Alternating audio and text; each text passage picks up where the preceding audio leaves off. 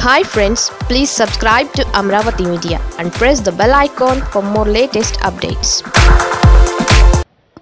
Agrigold సంస్థ పంతొమ్మిది వందల తొంభై ఐదులో స్థాపించి దాదాపుగా ఏడు రాష్ట్రాలు ఒక కేంద్ర పాలిత ప్రాంతంలో ఆరు వేల మూడు వందల ఎనభై కోట్ల రూపాయలు పెట్టుబడులు వసూలు చేసి మరి ముఖ్యంగా మన ఆంధ్ర రాష్ట్రంలో మూడు వేల తొమ్మిది వందల నలభై నాలుగు కోట్ల రూపాయలు వసూలు చేసి మరి అనేక మంది లక్షలాది కుటుంబాలను మోసం చేసినటువంటి విషయం మనందరికీ తెలిసిందే. గడిచిన ప్రభుత్వంలో బాధితులు ఎంత మొరపెట్టినా కానీ న్యాయం జరగకపోగా అగ్రిగోల్డ్ ఆస్తులన్నిటినీ కూడా తక్కువ ధరకే తీసుకొని లబ్ధిదారులను మోసం చేసే ప్రక్రియలో గత ప్రభుత్వం కూడా భాగస్వామ్యమైంది.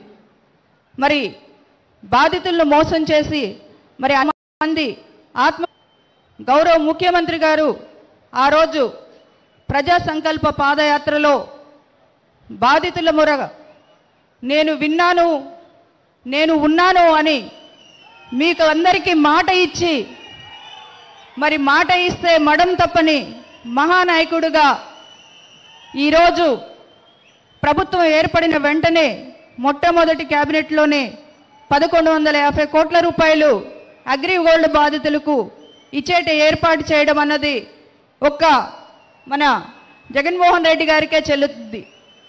ఎందుకంటే భారతదేశ చరిత్రలో మన ముఖ్యమంత్రి గారు వచ్చిన తరువాత ప్రతి ఒక్కటి చరిత్రగా చెప్పుకోవచ్చు.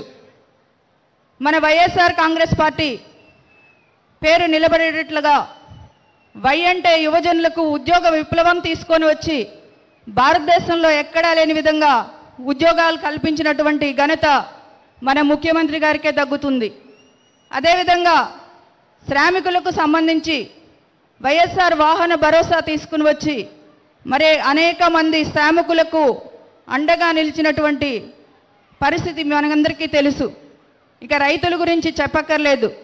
మనసున్న పాలకులు ఉంటే సుజలాం సుఫలాం అని మనం ఏదైతే చెప్పుకుంటామో మరి సకాలంలో వర్షాలు పడి రైతులందరూ తమ పంటలు పండించుకుంటూ మరి అంతేకాకుండా వారి పెట్టుబడి సాయం ఏదైతే నవరత్నాలలో పన్నెండు వేల ఐదు వందలు చెప్పారో అంతకు మించి కూడా పదమూడు ఐదు వేల ఐదు వందల రూపాయలు చేసినటువంటి ఘనత మన ముఖ్యమంత్రి గారికే చెల్లుతుంది.